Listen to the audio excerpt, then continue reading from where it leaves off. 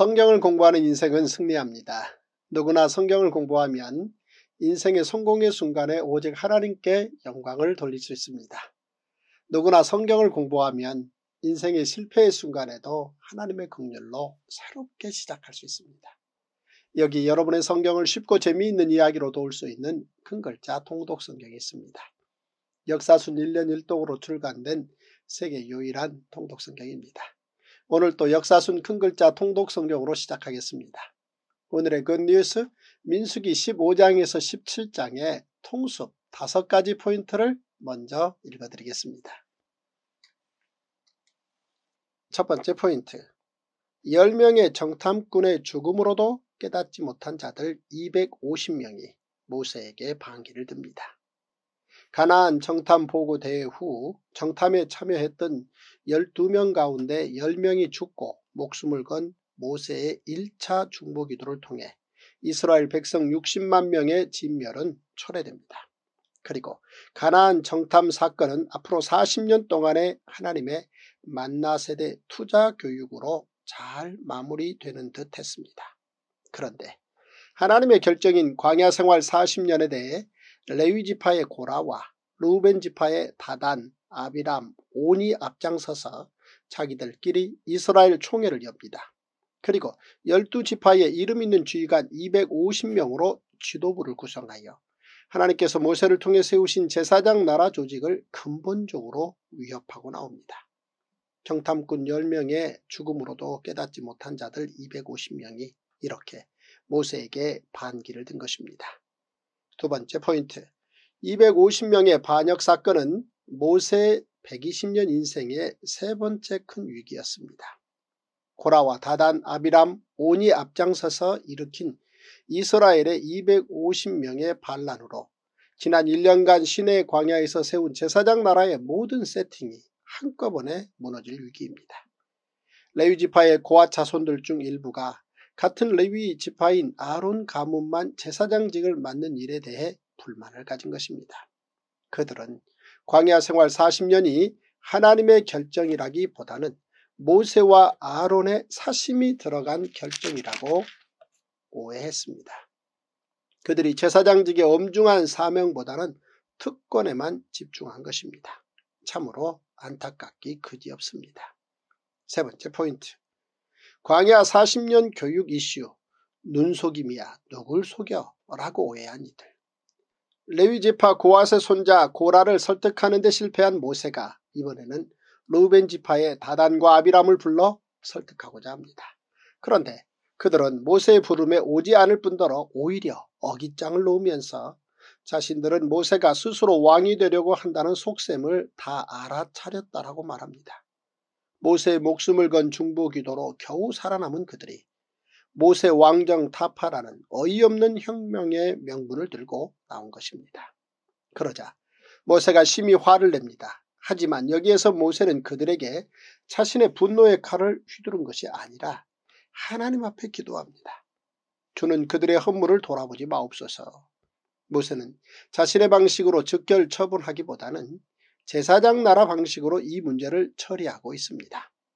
100번, 1000번 양보해서 이스라엘 백성들까지는 그렇다고 해도 최소한 레위지파 고아세 자손 고라마는 사태가 여기까지 가게 해서는 안 되는 것입니다. 그런데 오히려 고라가 향로를 들고 회막 앞에 모인 반란의 지도자 250명 편에 서서 끝까지 모세와 아론에게 대적한 것입니다. 모세의 120년의 인생에서 이때가 가장 힘들고 쓸쓸했을 것 같습니다. 네 번째 포인트 금송아지 사건으로 죽은 사람은 3천여 명 250명의 반란 사건으로 죽은 사람은 1만 5천여 명입니다. 250대 1 향로 대결 회막 앞에 250명의 반란자의 향로와 아론의 향로가 놓입니다. 이때 고아세 손자 고라가 회중 앞에서 모세와 아론을 대적하려 하자 여호와의 영광이 온 이스라엘 회중 앞에 나타납니다. 가데스 바네에서만 벌써 두 번째 하나님께서 이스라엘 온 회중을 멸하겠다고 말씀하신 것입니다. 그러자 모세와 아론 두 사람이 함께 엎드려 하나님께 기도합니다. 이것이 가데스 바네아에서의 모세의 2차 중보기도입니다. 모세가 백성들에게 말합니다. 여호와께서 나를 보내사 이 모든 일을 행하게 하신 것이요 나의 임의로 함이 아닌 줄을 이 일로 말미암아 알리라. 모세의 말이 끝나자마자 땅이 벌어져 고라와 고라에 속한 사람들과 모든 소유물을 삼킵니다. 그리고 향로를 가지고 나왔던 250명은 여호와께로부터 불이 나와 죽게 됩니다. 그런데 더 안타까운 사건이 이튿날 발생합니다. 하나님께서 그렇게까지 하셨음에도 이스라엘 백성들은 오히려 모세와 아론을 원망하며 죽이려 합니다. 그들 생각에는 모세와 아론이 하나님의 백성들을 죽게 했다는 것입니다. 바로 그때 구름이 회막을 덮으며 하나님의 영광이 나타나 모세와 아론이 위기를 넘깁니다. 결국 하나님의 진노로 시작된 연병으로 14,700명이 죽습니다. 가데스 바냐에서 정탐꾼 10명, 고라당 250명 이상, 연병으로 14,700명, 총 15,000여 명이 죽었습니다. 이는 금송아지 사건으로 죽은 3천여 명의 5배가 되는 수입니다. 이렇게 죽은 숫자의 무게만큼 모세와 아론은 정말 죽을 만큼 힘이 들었을 것입니다. 다섯 번째 포인트 아론의 쌍난 지팡이는 하나님의 백성을 향한 눈높이입니다. 하나님께서는 출애굽 때 단 한 명의 생명도 잃지 않도록 최선을 다해 지키고 보호하며 데리고 나오셨습니다. 하지만 그들의 죄악으로 신의 광야에서 금송아지 사건으로 3천여 명 그리고 가데스 바네아에서 또 15,000여 명이 죽습니다. 이제 하나님께서는 레위지파 가운데 아론과 그의 자손들이 대대로 그리고 전문직으로 제사장의 사명을 감당하게 하셨다는 사실을 보여주시기 위해 아론의 지팡이에서 싹이 나게 하십니다. 이는 모세와 아론을 향한 이스라엘 백성들의 원망을 그치게 하기 위함입니다. 모든 성경은 유익합니다. 세상 예화나 성경 요절주의, 권별주의는 끝내 성경을 어렵게 합니다. 모든 성경을 모든 가정에서 다섯 살부터 통성경 스토리로 듣게 되면 성경은 곧 쉽고 재미있는 책이 될 것입니다. 모든 성경 이야기에는 첫째 하나님의 법, 둘째 하나님의 긍휼, 셋째 하나님의 기적이 들어있습니다. 그러므로 성경 한 권이면 충분합니다. Wow! 제51 민수기 15장 여호와께서 모세에게 말씀하여 이르시되 이스라엘 자손에게 말하여 그들에게 이르라 너희는 내가 주어 살게 할 땅에 들어가서 여호와께 화제나 번제나 서원을 갚는 제사나 낙헌제나 정한 절기제에 소나 양을 여호와께 향기롭게 드릴 때에 그러한 헌물을 드리는 자는 고운 가루 10분의 1에 기름 4분의 1 흰을 섞어 여호와께 소재로 드릴 것이며 번제나 다른 제사로 드리는 제물이 어린 양이면 전제로 포도주 4분의 1 흰을 준비할 것이요 순양이면 소재로 고운 가루 10분의 2에 기름 3분의 1 흰을 섞어 준비하고 전제로 포도주 3분의 1 흰을 들여 여호와 앞에 향기롭게 할 것이요 번제로나 서월을 갚는 제사로나 화목제로 수송아지를 예비하여 여호와께 드릴 때에는 소재로 고운 가루 10분의 3 에바에 기름 반 흰을 섞어 그 수송아지와 함께 드리고 전제로 포도주 반 흰을 드려 여호와 앞에 향기로운 화제를 삼을지니라. 수송아지나 순양이나 어린 순양이나 어린 염소에는 그 마리수마다 유와 같이 행하되 너희가 준비하는 수요를 따라 각기 수요에 맞게 하라. 누구든지 본토 소생이 여호와께 향기로운 화제를 드릴 때에는 이 법대로 할 것이요 너희 중에 거류하는 타국인이나 너희 중에 대대로 있는 자나 누구든지 여호와께 향기로운 화제를 드릴 때에는 너희가 하는 대로 그도 그리할 것이라. 회중 곧 너희에게나 거류하는 타국인에게나 같은 율례이니 너희의 대대로 영원한 율례라. 너희가 어떠한 대로 타국인도 여호와 앞에 그러하리라. 너희에게나 너희 중에 거류하는 타국인에게나 같은 법도 같은 규례이니라. 여호와께서 모세에게 말씀하여 이르시되 이스라엘 자손에게 말하여 이르라. 너희는 내가 인도하는 땅에 들어가거든 그 땅의 양식을 먹을 때에 여호와께 거제를 드리되 너희의 처음 익은 곡식 가루떡을 거제로 타작마당에 거제같이 들어 드리라. 너희의 처음 익은 곡 곡식 가루 떡을 대대의 여호와께 거제로 드릴지니라. 너희가 그릇 범죄하여 여호와가 모세에게 말씀하신 이 모든 명령을 지키지 못하되 곧 여호와께서 모세를 통하여 너희에게 명령한 모든 것을 여호와께서 명령한 날 이후부터 너희 대대에 지키지 못하여 회중이 부지중에 범죄하였거든 온 회중은 수송아지 한 마리를 여호와께 향기로운 화제로 드리고 규례대로 소제와 전제를 드리고 순념소 한 마리를 속죄제로 드릴 것이라 제사장이 이스라엘 자손의 온 회중을 위하여 속죄하면 그들이 사함을 받으리니 이는 그가 부지 중에 범죄함이며 또 부지 중에 범죄함으로 말미암아 험불 곧 화제와 속죄제를 여호와께 드렸습니다. 이스라엘 자손의 온 회중과 그들 중에 거류하는 타국인도 사함을 받을 것은 온 백성이 부지 중에 범죄하였음이니라. 만일 한 사람이 부지 중에 범죄하면 1년 된 암염소로 속죄제를 드릴 것이요 제사장은 그 부지 중에 범죄한 사람이 부지 중에 여호와 앞에 범한 죄를 위하여 속죄하여 그 죄를 속할지니 그리하면 사함을 얻으리라. 이스라엘 자손 중 본토 소생이든지 그들 중에 거류하는 타국인이든지 누구든 부지 중에 범죄한 자에 대한 법이 동일하거니와 본토인이든지 타국인이든지 고의로 무엇을 범하면 누구나 여호와를 비방하는 자니 그의 백성 중에서 끊어질 것이라. 그런 사람은 여호와의 말씀을 멸시하고 그의 명령을 파괴하였은즉 그의 죄악이 자기에게로 돌아가서 온전히 끊어지리라.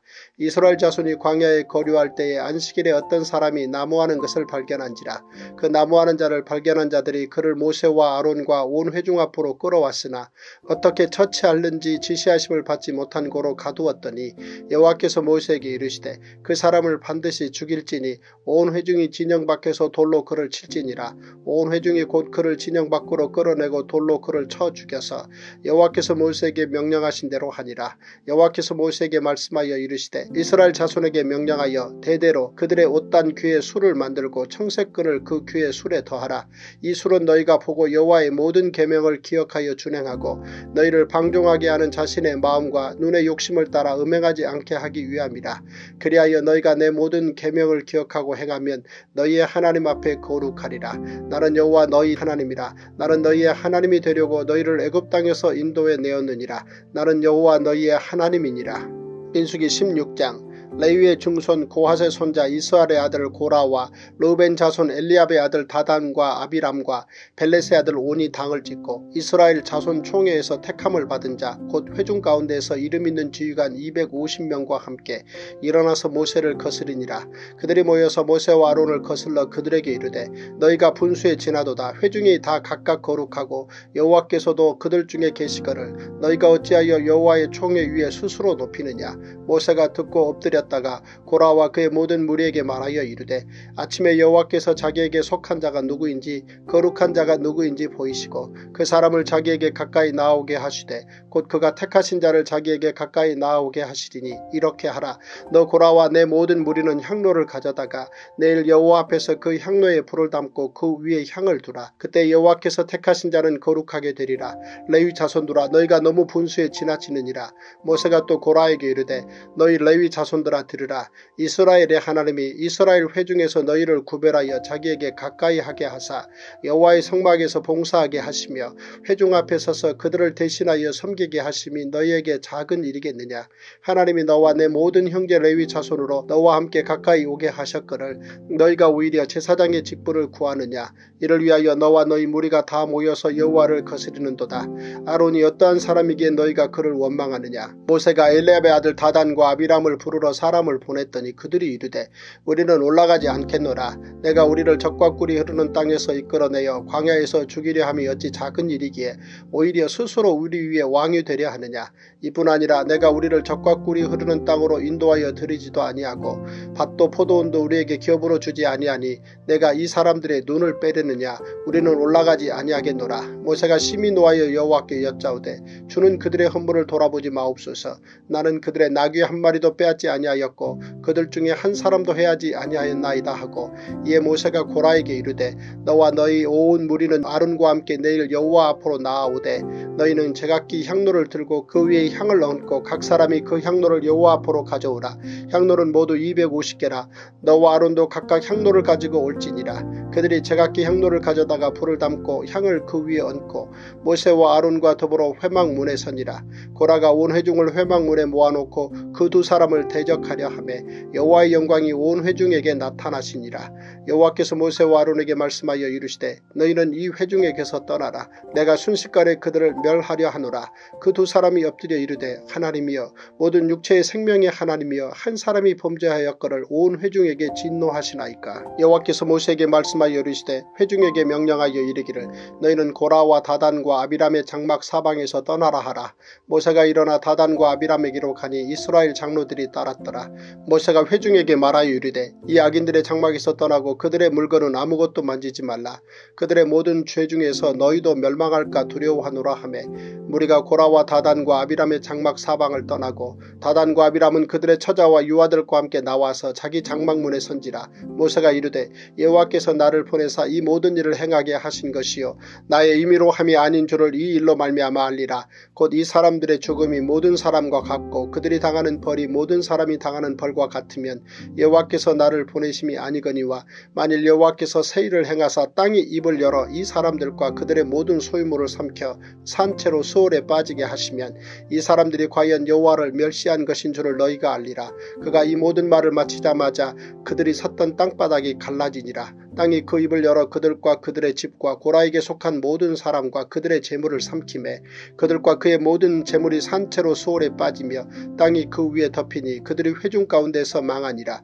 그 주위에 있는 온 이스라엘이 그들의 부르짖음을 듣고 도망하며 이르되 땅이 우리도 삼킬까 두렵다 하였고 여호와께로부터 불이 나와서 분양하는 250명을 불살랐더라. 여호와께서 모세에게 말씀하여 이르시되 너는 제사장 아론의 아들 엘라살에게 명령하여 붙는 불 가운데에서 향로를 가져다가 그 불을 다른 곳에 쏟으라. 그 향로는 거룩함이니라. 사람들은 범죄하여 그들의 생명을 스스로 해하였거니와 그들의 향로를 여호와 앞에 드렸으므로 그 향로가 거룩하게 되었나니 그 향로를 쳐서 제단을 싸는 철판을 만들라.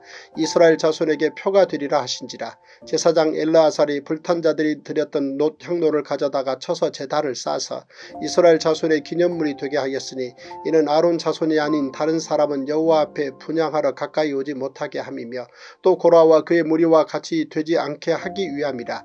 여호와께서 모세를 시켜 그에게 명령하신 대로 하였더라.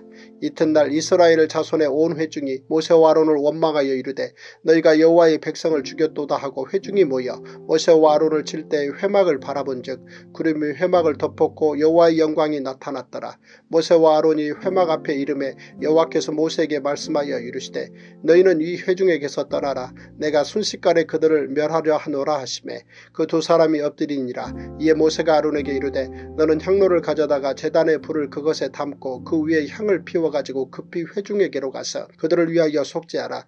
여호와께서 진노하셨으므로 연병이 시작되었음이니라.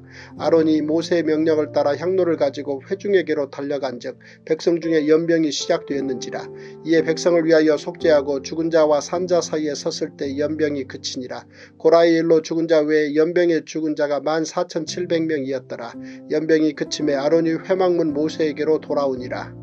민수기 17장 여호와께서 모세에게 말씀하여 이르시되 너는 이스라엘 자손에게 말하여 그들 중에서 각 조상의 가문을 따라 지팡이 하나씩을 취하되 곧 그들의 조상의 가문대로 그 모든 지휘관에게서 지팡이 열두를 취하고 그 사람들의 이름을 각각 그 지팡이에 쓰되 레위의 지팡이에는 아론의 이름을 쓰라. 이는 그들의 조상의 가문의 각 수령이 지팡이 하나씩 있어야 할 것임이니라. 그 지팡이를 회막 안에서 내가 너희와 만나는 곳인 증곡의 앞에 두라. 내가 택한 자의 지팡이에는 싹이 나리 하리니 이것으로 이스라엘 자손이 너희에게 대하여 원망하는 말을 내 앞에서 그치게 하리라. 모세가 이스라엘 자손에게 말하며 그들의 지휘관들이 각 지파대로 지팡이 하나씩을 그에게 주었으니 그 지팡이가 모두 열둘이라. 그 중에 아론의 지팡이가 있었더라. 모세가 그 지팡이들을 증거의 장막 안 여호와 앞에 두었더라. 이튿날 모세가 증거의 장막에 들어가 본즉 레위 집을 위하여 낸 아론의 지팡이에 우미 돋고 순이 나고 꽃이 피어서 살구 열매가 열렸더라. 모세가 그 지팡이 전부를 여호와 앞에서 이스라엘 모든 자손에게로 가져오매 그들이 보고 각각 자기 지팡이를 집어들었더라. 여호와께서 또 모세에게 이르시되 아론의 지팡이는 증거계 앞으로 도로 가져다가 거기 간직하여 반역한 자에 대한 표징이 되게 하여 그들로 내게 대한 원망을 그치고 죽지 않게 할지니라. 모세가 곧 그같이 하되 여호와께서 자기에게 명령하신 대로 하였더라. 이스라엘 자손이 모세에게 말하여 이르되 보소서 우리는 죽게 되었나이다. 망하게 되었나이다. 다 망하게 되었나이다. 가까이 나아가 는 자 곧 여호와의 성막에 가까이 나아가는 자마다 다 죽사오니 우리가 다 망하여야 하리이까.